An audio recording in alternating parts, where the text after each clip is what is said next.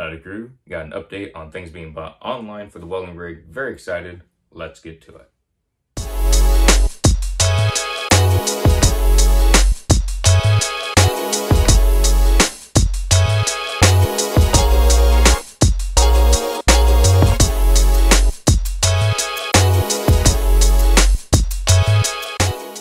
As I mentioned, there have been plenty of things bought online for the welding rig. I'm very excited for them to come in but they're going to be coming in in multiple stages. They were not all bought at the same place.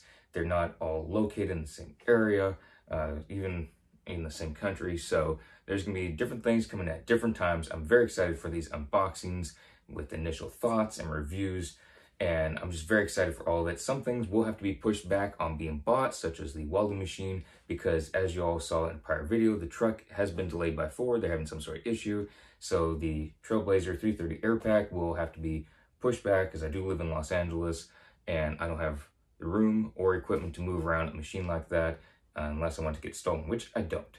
So that will have to be pushed back until the truck gets here along with the gas tanks uh, for the different fuels, inert gases, all that stuff, as well as the tank holders, uh, the boxes, toolboxes, all that stuff's gonna have to be pushed back, unfortunately. But there will be stuff still coming in that won't be as big, but still some really cool stuff. I find it really cool looking, but it's to be very useful. It's to be uh, utilized and worked with in the welding rig. So it's not just something that looks cool. It's not just to sit somewhere. It's to be very utilitarian and it's just to work really nicely.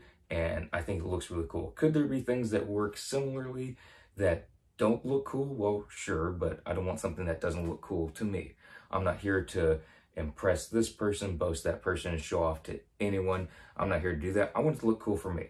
When I go out to the welding rig, I'm not here to show off to anyone, to impress anyone.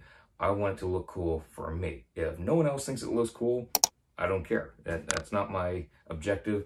I want to be happy with it. I want to be happy with the rig to where it looks good for me. And I think that's very important for some of y'all because I know there's a lot of welding rigs on any social media site you pick, just pick one. There's plenty of welding rig pictures and videos to where they have this and everyone thinks that looks awesome. Everyone thinks this looks cool. And some people get sucked into it where they have to have it. Otherwise, it's not a true welding rig. And I don't view it that way. A lot of the quote unquote cool welding rigs look pretty stupid in my opinion. I don't need to have huge rims and little tires on there. Just if you're in the mud and you have to go four wheeling to get to a site, it's more likely to break. I want something that's going to be useful. It doesn't look as, again, quote unquote, cool as some of the other things, I don't care. I want to be happy with it myself. Now, if you do like that and you're driving on city streets to where you're not worried about being stuck in the mud, go for it. I, I'm not here to tell you no.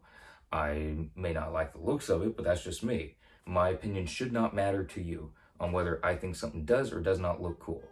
Uh, it's not my place. It should not matter whatsoever. Again, anyone's opinion out there that they don't like something that I like, I don't care. I really have no weight to anyone's opinion. There's very few people that I treasure their opinions.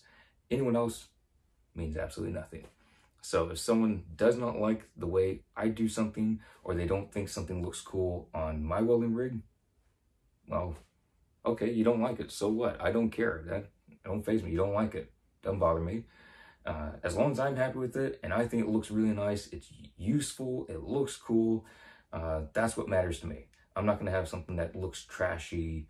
Um, if something is looking worn and beat up, it's because I like it like that. I like something being used, and if it gets worn down and it looks like it's been used because it has been used, well, then so be it. There's nothing wrong with that but also I want things to look professional. And if something has a potential to look cool and I have the factor for it to look cool to me, again, not caring about what anyone else thinks, whether it looks cool or not, but it has the potential to look cool to me, well, of course, I'm going to want that. So I'm going to throw that out there. If someone doesn't like my style, if someone doesn't like the way I view something as cool, doesn't matter. I really do not care. Uh, that has no meaning to me has no weight to anything that I do. Again, if I view something that doesn't look cool and for some reason I say something doesn't look cool, but you find it really cool, don't take it as offensive. Don't uh, Don't have my version of what looks cool affect what you think looks cool. If you like something, go for it. Who am I to stop you? Uh, it, it shouldn't matter. So if I think something's really cool and I get it for the welding rig, and if for some reason everyone else in the world thinks it doesn't look cool, doesn't matter. I like it because it looks cool. Uh, it's going to be used and it's going to because I want it. So I'm very excited for multiple packages to be coming in and I'm very excited to do the unboxings, initial thoughts and reviews on all this stuff and explain why I have these things.